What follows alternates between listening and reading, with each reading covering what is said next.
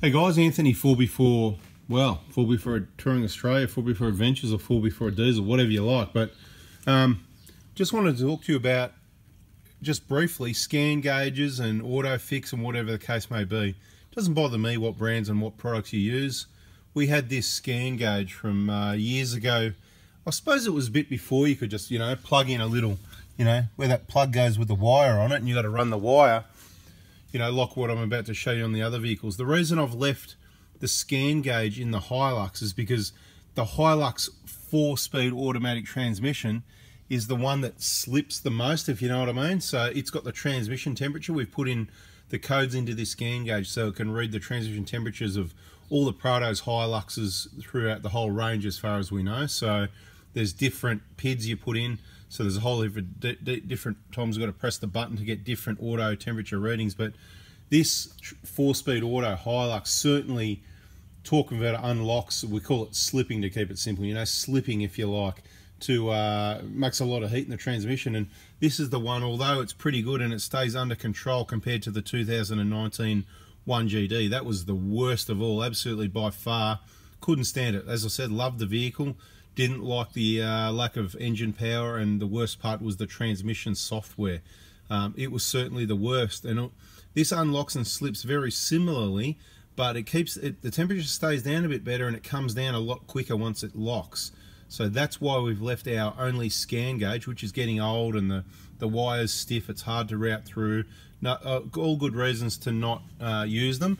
And then the plug you know the connection here can get a bit average at times and it sort of flickers on and off because of the stiff cable, right? In the other vehicle, like our 2008 120 Prado, we've just got the Autophix, you can see, permanently plugged in there, right? It just stays plugged in then. Anytime we like, if we've got, if we want to read any data, um, or we want, if we've got an engine light, uh, this vehicle does get the P, P0400, so it's got some sort of issue there.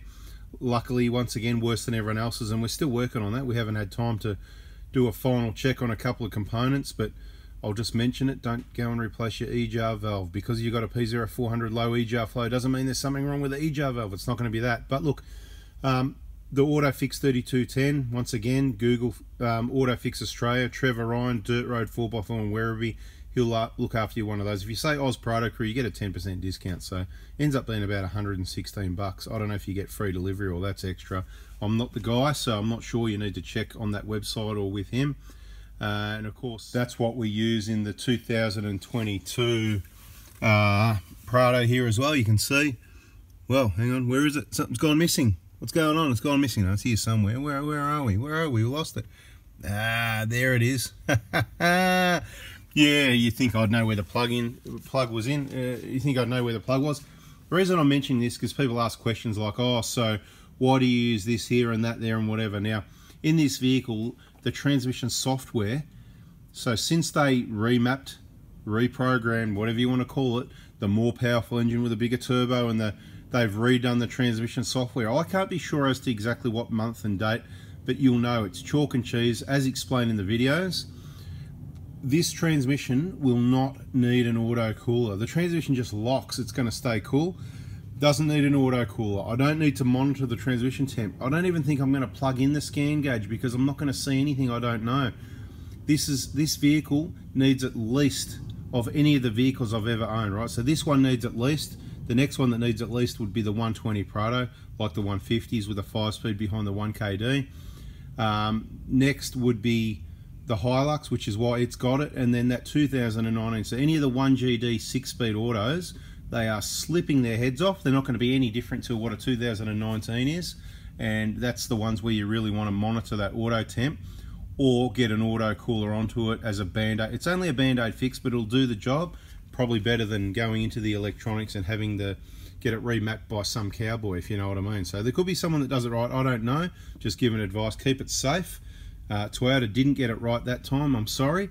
But the good news is, well, our battery's gone flat on the light, and uh, we're going to have a free automatic transmission cooler kit available. So if you hung around, it wasn't just about the Autophix and the scan tool. It's first bit of information on the free automatic transmission cooler. So here's the free automatic transmission cooler. So I'll give you a little bit of background. We got this from Kaon because obviously Kaon use quality products. So they use the uh, Davies Craig transmission cooler and they make the custom stainless steel brackets, as you can see, top and bottom, to mount that cooler. Now, we did get this from Kaon to put, fit on our 2019 after noticing all the issues with the um, you know, the, the transmission getting really hot and the constant slipping, the non-locked torque converter. Um, so what happened though, we went to briefly fit it and you may have seen the video on that, but the problem was where we routed our wires for our DC-DC charger on that projector thing, which we'll never use again.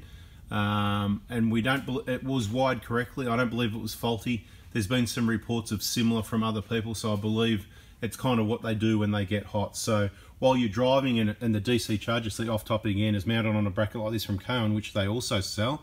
It gets plenty of airflow, it works well, but once you're parked sitting in 40 degree heat, um, and the heat under the bonnet and all that sort of thing near the engine, trying to use solar. just, I don't know if it's the heat, but it just doesn't work too well, and it's inconsistent was the key. So anyway, we got this back on topic, right, but it's all good information. So we got this cooler, um, that was the issue.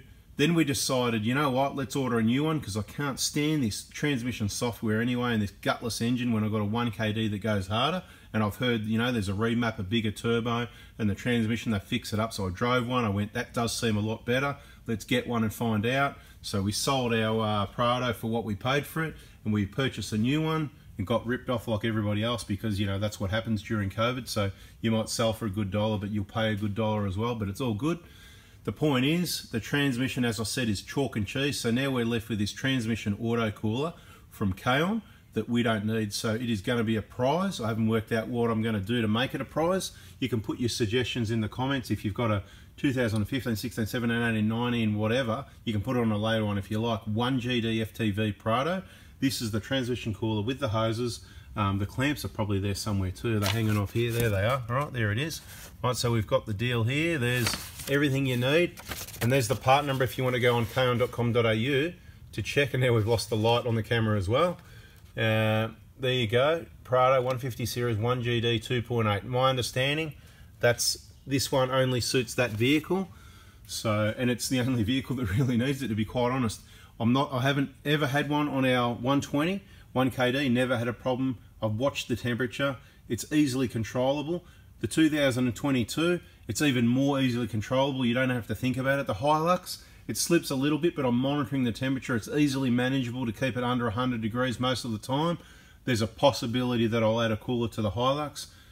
This one, if you've got a 15, 16, 17, 18, 19, there's no better time than now to get one of these coolers. So whether you want to hang around, We'll work out what this prize is, how it's going to be a freebie sooner or later. Subscribe, turn the bell on. It's going to be on one channel or the other or both or on our Facebook groups, you know. These ones here, you know. Right, there they are. Right, Oz Prado Crew, the key one. Oz, it's it's a Prado thing. So it's going to be on Oz Prado Crew or it's going to be on, yeah, you know, it's going to be on that basically. All right, guys, thanks for watching. That's a video. Just trying to share the info, answer the questions for you, and tell you about the freebie. Thanks for watching. See ya.